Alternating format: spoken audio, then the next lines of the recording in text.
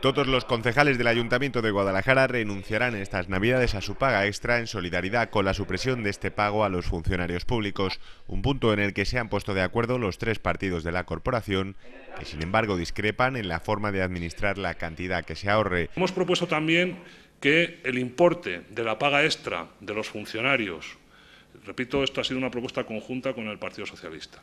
Que el importe de la paga extra de los funcionarios, de la paga extra de los representantes políticos y de la paga extra del personal eventual se dedicase a mitigar los efectos que el paro tiene sobre la gente que no tiene en este momento ninguna prestación. Hemos propuesto la creación de un plan de empleo con esos recursos y o y o que se dedique a los servicios sociales municipales para atender a la gente que tiene necesidad extrema en este momento, a la persona que está más afectada por la situación actual. Sin embargo, el Ayuntamiento ha denegado en la pertinente comisión esta solicitud y destinará esta cantidad a hacer frente a las necesidades presupuestarias del consistorio.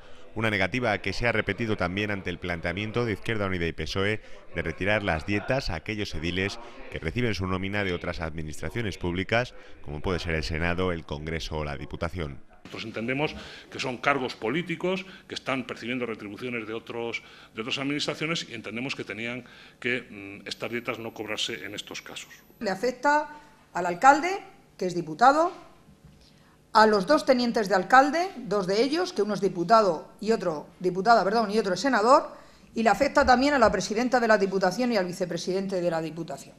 Por lo tanto, lo que tienen que hacer es predicar con el ejemplo de la austeridad y es lo que les hemos pedido. Una petición que no ha sido acogida de muy buen grado por el consistorio desde el que aseguran que si se revisan estos ingresos se debe hacer lo propio con otros conceptos. Cuando uno eh, lanza la piedra, que en este caso ha lanzado un grupo político, pues desde el Grupo Municipal Popular recogemos esa piedra y otras más Vamos a establecer si es justo o no es justo que todos y cada uno de los concejales del ayuntamiento perciban una dieta por asistencia a pleno comisión informativa, pero no solamente eso. Vamos a hablar de más cosas. Vamos a hablar de las asignaciones de los grupos políticos, que también están en cuestión. Vamos a hablar también de si reducirlas más de lo que ya le hemos reducido o incluso plantearnos el suprimirlas. ¿No hay que ahorrar? Pues vamos a ahorrar también en esa materia. Unas declaraciones que abren la posibilidad de una revisión profunda de los ingresos de los cargos electos y los partidos políticos que podrían acabar con ciertos privilegios impropios de estos tiempos de crisis, eso sí, siempre que el corporativismo no lo impida.